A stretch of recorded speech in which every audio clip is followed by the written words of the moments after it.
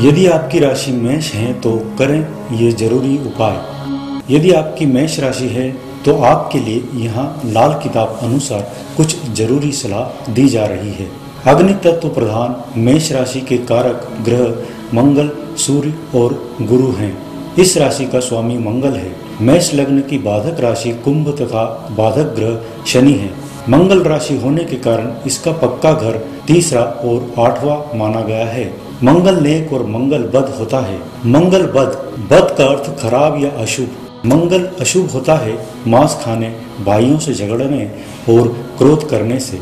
दूसरा, यदि कुंडली के प्रथम, चतुर्थ, सप्तम, अष्टम अथवा द्वादश भाव में मंगल होता है, तब इसे मांगलिक दोष माना जाता है।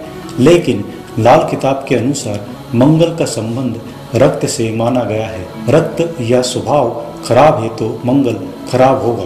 मंगल बद के रोग। मेष राशि के जातक का मंगल बद है तो मंगल से संबंधित बीमारियों में पेट के रोग, हैजा, पित्त, भगंदर, फोड़ा, नासुर और आमाशय से संबंधित समस्याएँ होने लगती है। मानसिक रोगों में अति क्रोध, विक्षिप्तता, चिड़चिड़ापन, तनाव और अनिंद्रा आदि होते हैं।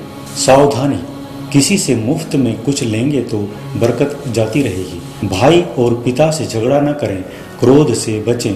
घमंड, अहंकार, बदजुबानी और आपराधिक प्रवृत्ति से दूर रहें। दक्षिण और शेरमुखी मकान में न रहें। जहाँ रोज भट्टी जलती हो, वहाँ भी न रहें।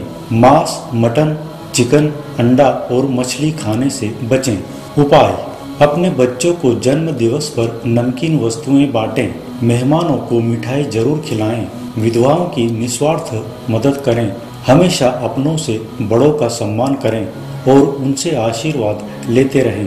कभी कभी गुलाबी या लाल चादर पर सोएँ, पीला वस्त्र लाभदायक है, चादर भी पीले रंग की ही रखें, काले और नीले रंग से दूर रहें, आसमानी रंग का उपयोग कर सकते हैं, हाथ और दांत हमेशा साफ़ रखने का सुनिश्चित करें।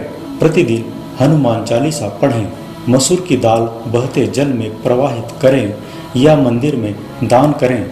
सफ़ेद रंग का सुरमा आँखों में लगाएँ।